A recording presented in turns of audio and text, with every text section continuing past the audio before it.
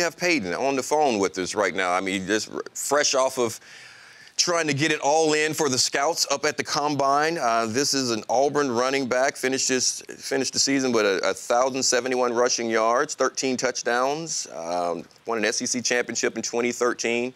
Originally committed to the University of Mississippi and changed his mind and became a Tiger and should have lost to my Jacksonville State Gamecocks this year. But I'm going to say welcome into the show anyway, Peyton. How you doing? Good, good. How about yourself? I, am doing well. I'm doing well. And again, I'm, I'm not really, I'm, I'm not going to try to throw you under the bus too much, but you know you guys should have lost to Jacksonville State. it's, it's okay to admit it. I mean, it's just national television.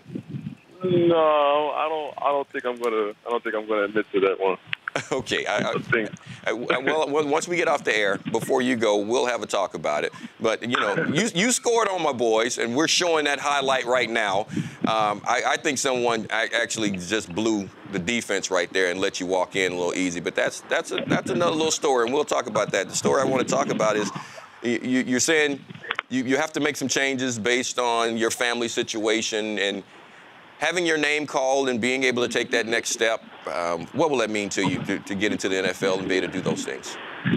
Oh, well, it'll it'll definitely be a blessing. You know, this is something that I've been been praying for, you know, and dreaming of. You know, basically my my whole entire life. You know, pretty much since I was you know four years old, I've I've wanted to you know go to the NFL, and I've always said that I'll be able to do that one day. And you know, it's it's crazy to think how how close it really is. It's right around. Yeah, it's right around the corner. You had an opportunity uh, to showcase your skills. You know, that's that's one of the biggest job interviews you'll ever have there at the combine. Uh, how do you assess what you did there?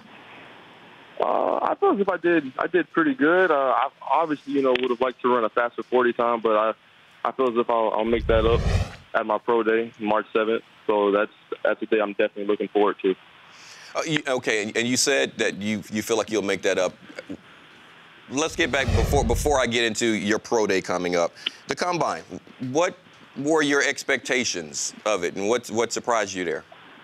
Uh, my expectations. I mean, I I obviously set high high goals for myself. You know, I'm always somebody who strives for the best. But like I said, I feel as if I did I did good with the amount of training that that I had. I only been training for three weeks, and I mean, some of these guys have been training since since Christmas, really, December really. So, I mean, I I was very proud of myself, but at the same time, just like I said, you know, I obviously would have liked to run a faster 40 time and had a better vert and everything, but you know, those things those things didn't happen. But you know, I feel as if coming up in the next next week or so, I'll, I'll definitely improve that. Well, you know, the things that you said you had three weeks and, and, after making this decision to start preparing for it and prepping for it, and there, and there are certain things physically you can train for, but you can't train for the questions that they're going to ask you when you get into right. these interviews. Uh, what caught you off guard? What was the most surprising thing that you, craziest thing you were asked? Craziest thing? I don't really think there are too many crazy things. You know, uh, okay. you know, I guess something that would be crazy, you know, if they were asking me if, if I had ever done any drugs or anything like that. And I know that's common, but that's that's not me. That's that's not something that I not something that I do. So. Okay. Well, after now now that you've gone through this process, and you say you want to get things better, what do you, what do you have to do? You, are going back uh, because again, this is your job interview. For right. so when you go back to have your pro day, between now, what what did you learn after assessing yourself at this combine, watching the other guys at your position, seeing what the best of the best had to offer? Uh, where, what's your next step? What do you have to fix to get yourself drafted and be able to accomplish these things you want to accomplish for your family? Uh, 40 time, 40 and uh, I want to say 40 and vert. Um, I feel like everything else, you know, I was I was in the top top categories for everything else as far as shuttles, um, L drill. Um, I feel as if I did pretty good in the in the running back drills as, as well.